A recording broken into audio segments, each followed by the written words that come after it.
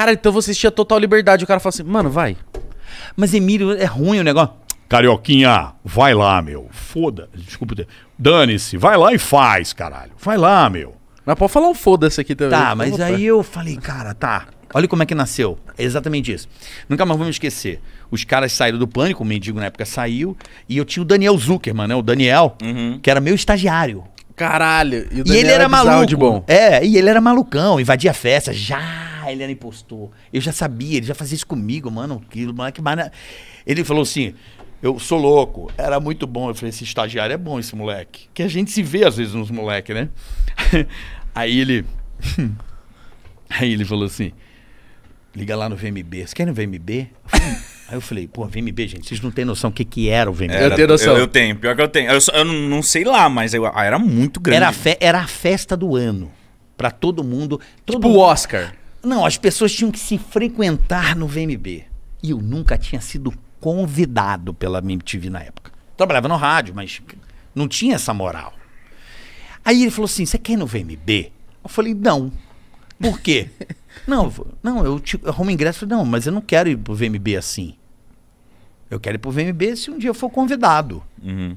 E penetrão, não é minha vibe. Eu quero ir pelo meu mérito. Eles falaram, pô, cara, vem aqui fazer o VMB. Entendeu? Vem aqui convidar. Nunca me convidaram. Eu falei, ah, beleza.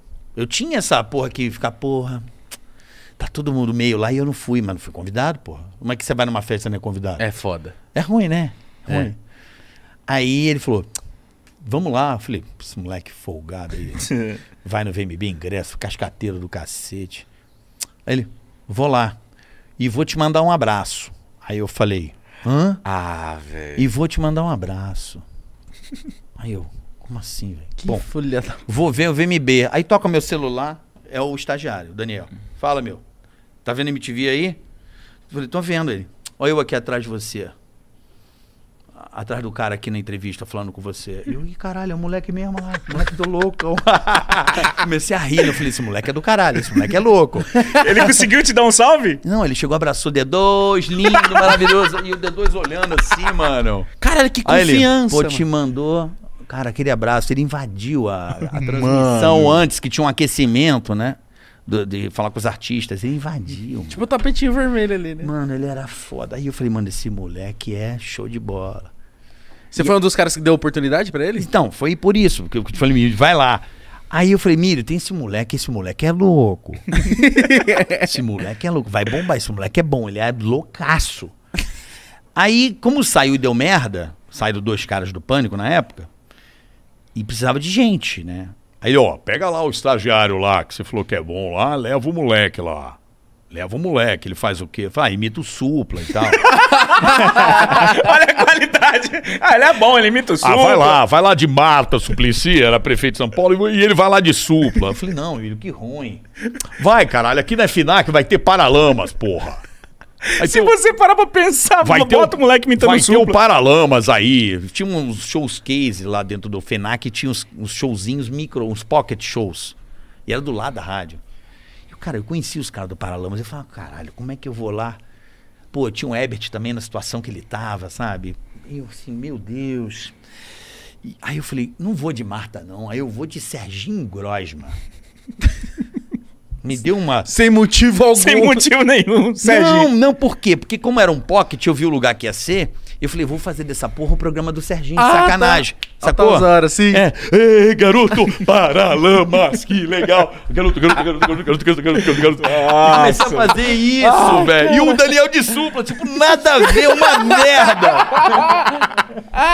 Mas, meu irmão, tem que sair alguma merda daqui. Juro pra você, não tô de sacanagem. É a história do vai lá e faz.